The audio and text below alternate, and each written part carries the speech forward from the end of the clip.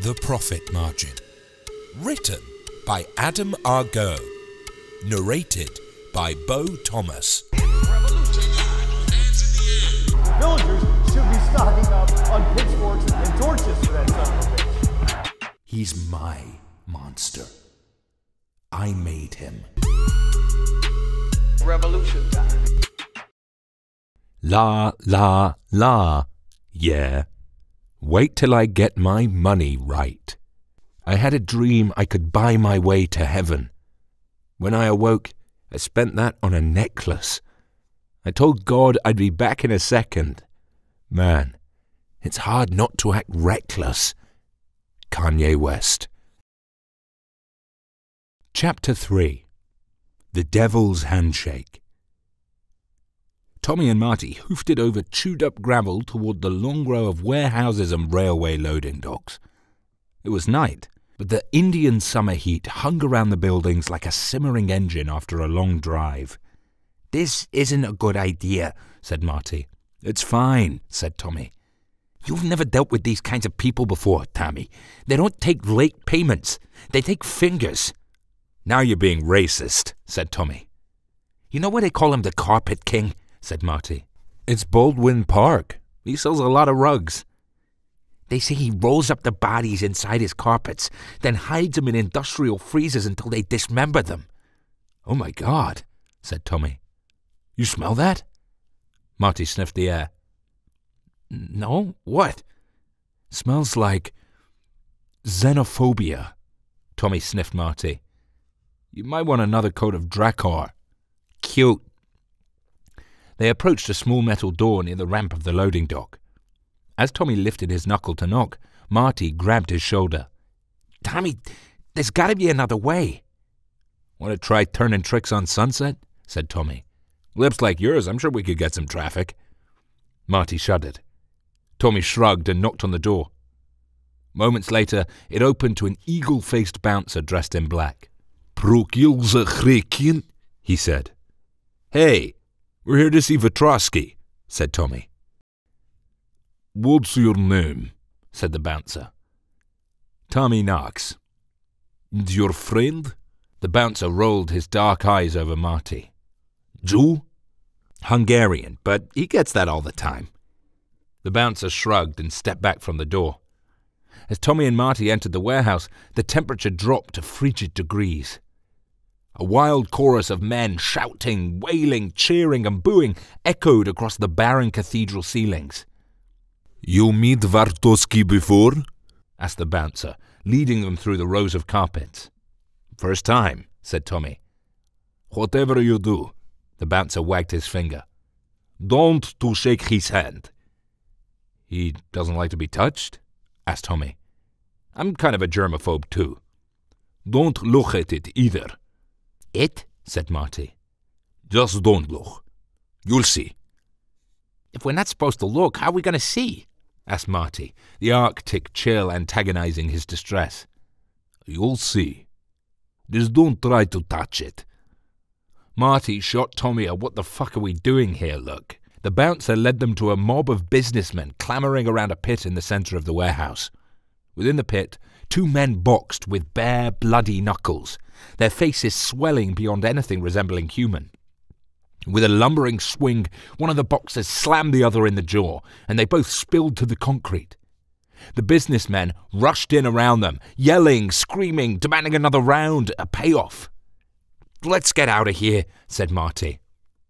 An office door opened, and an old, weathered, bent trunk of a man with a withered right hand emerged, followed by two brick stacked goons. The rambling mob quieted as soon as they noticed him. The old man spoke in Sardonian as the crowd separated. He stood over the two fallen fighters. They resembled heaving, sweaty slabs of raw beef. After saying a few more words in Sardonian, the two goons dragged away one of the fighters to a large freezer door. Maybe you're right, said Tommy. Let's go. They turned to retreat. Tommy Knox, said the old man with the withered hand, interrupting their flight for the door. All eyes turned on Tommy like a pack of jackals with dark, thirsty, glimmering eyes. Vetrosky? said Tommy, trying to suppress his flight instinct. Come, join me for a drink, said Vetrosky. Tommy and Marty looked at each other, silently weighing their chances of making it out of the warehouse alive. With his withered hand, Vetrosky steadied the glass as he poured the Ararat brandy. Tommy and Marty huddled on a couch, their backs to the door. Nothing beats a clean fight, said Vetrosky. Men, they scream and yell at each other. Words are for cowards. There's something noble about two men beating the shit out of each other. Is honest, no? The fists don't lie. They only have one thing to say. I'm more of a treadmill kind of guy, said Tommy. But whatever gets the blood pumping. Vetrosky chuckled as he handed them the brandy. We uh, appreciate you making the time to meet with us, said Tommy. Kasparian told me you used to invest in theaters back in the day.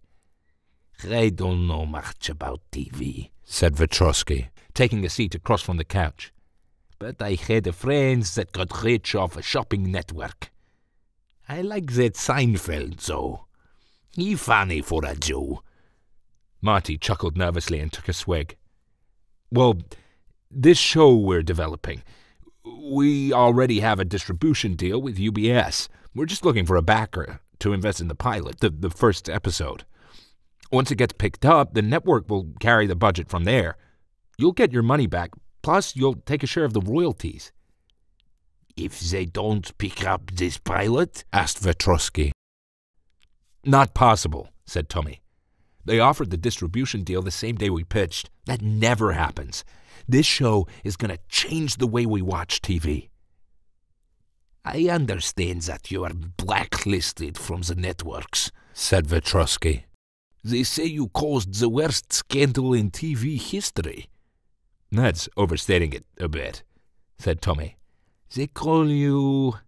Yeah, what was it? Um, the, the Charlie Manson of reality television. That was a tabloid article. Blew the whole thing out of proportion, really. What happened? said Vetrosky. Tommy adjusted his tie. Well, he looked at Marty, who was sweating worse than the condensation on his glass of brandy. It was the first season of Gender Wars.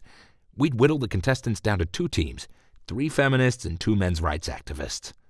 One of the feminists, a guy, actually, he kind of went a little crazy on the island, sort of murdered two of the MRAs, kind of hacked them up with an axe a bit, one of them happened to be a woman, actually, and, and well, the media jumped all over it, turning the, the tragedy into a political circus and, and kind of blamed me for creating a hostile environment for a group of borderline personalities. One of the goons ambled into the office, wiping blood from his hands with his handkerchief. Tommy gulped and adjusted his posture. Marty downed another swig. Gentlemen, said Vetrosky, allow me to introduce you to my number one. Aegeus. Tommy and Marty nodded and smiled. Aegeus grunted. What do you mean by hostile environment? asked Vetrosky. Um, well, um, Tommy struggled to focus on Vetrosky as the goon loomed in the blur of his peripheral vision. The, the role of a producer is to find conflict, so we tend to seek out personalities with what some might call inadequate coping mechanisms. My job is to hunt down people's pressure points and provoke them into conflict. I kind of wind them up. Uh, but what they do from there is their own responsibility.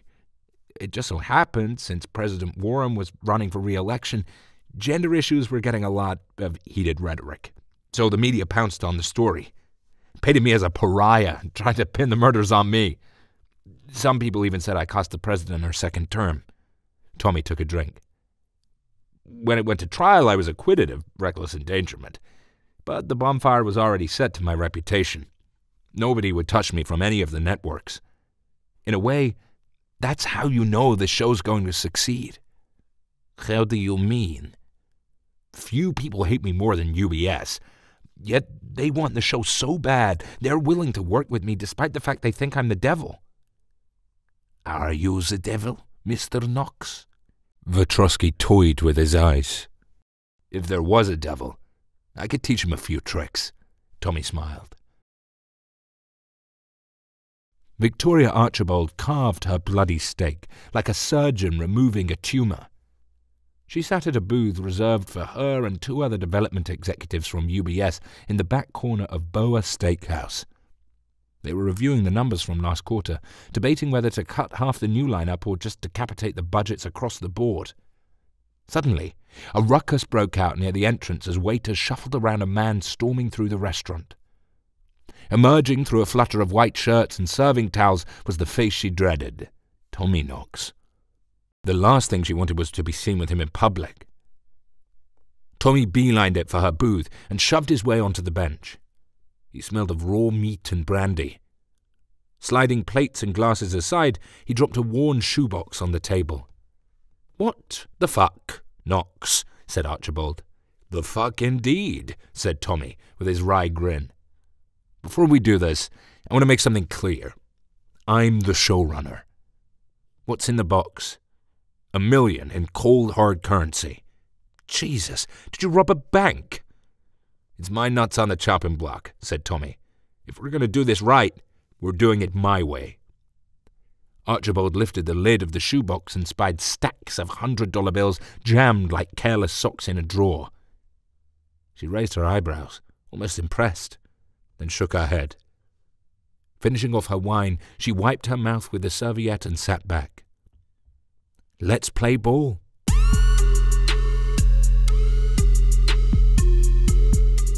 Next episode of The Prophet Margin, there will be no hiding place for you, and the righteous shall sit in virtuous pleasure as you stain the earth with your blood and rot with festering sores.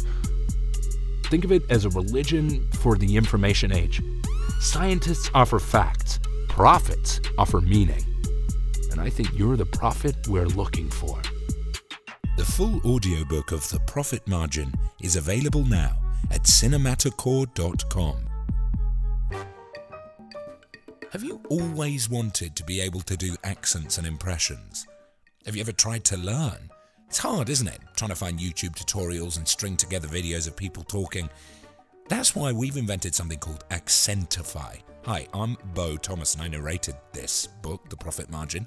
And you might have noticed I do some accents in there. Well, I'm also an accent and dialect coach. And we're developing an app called Accentify to help people learn accents free from home without needing to pay for a coach, but with the same level of feedback and you can get this app for free by signing up to the waitlist at www.accentify, that's A-C-C-E-N-T-I-F-Y, dot co dot uk, not dot com, I'm English. And if you do this, you will be the first to know when Accentify releases, which should be very soon.